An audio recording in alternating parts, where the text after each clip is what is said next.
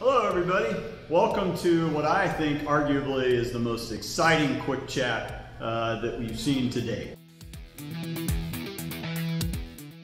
My name's uh, Rear Admiral Frank Morley. I'm the Director of Navy International Programs. Really, this is such a high demand mission today. If you think about it, the National Defense Strategy, it's one of three lines of effort, partners and allies.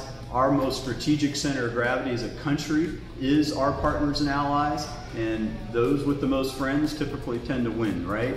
And so we see uh, it's a tremendous uh, increase in uh, business today. Uh, we see that uh, this is uh, it, it, influences the partners that we have in order to build greater partnership and a connection generational uh, across the uh, many countries across the globe. It provides us combat capability and capacity and interoperability uh, amongst our partners and fills gaps that we don't have uh, in our inventory. And uh, it, of course, also brings in uh, dollars into the U.S. industrial base. So, an incredibly important mission. This mission has brings in, we've brought in Navy, Marine Corps, and Coast Guard alone has brought in over 35 billion the last two years of uh, income uh, coming in through foreign military sales. Add about 800 uh, million uh, each year in cooperative programs that other countries bring in that we don't have to pay for.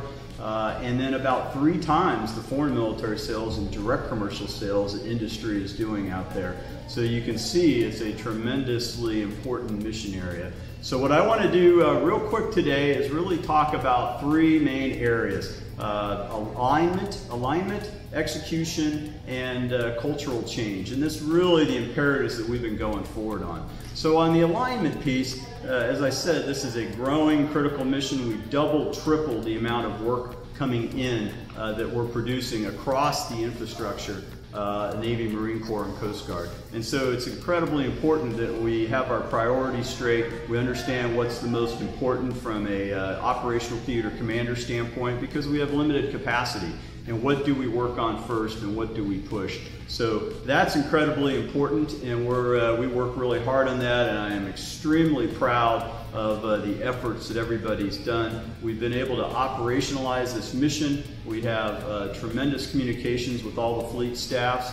Uh, we have tremendous communications uh, across the, the uh, RDA and the PEO so we understand what the most important uh, production line fills are or synergies or multi-year opportunities that we have in order to make uh, more uh, economical our own uh, efforts there. And uh, so our efforts to operationalize this and our uh, drum of communication with the uh, fleet staffs, with the COCOMs, and across the U.S. industrial base, both government and industry, has been wonderful. I just want to thank everybody for that effort. So that's alignment.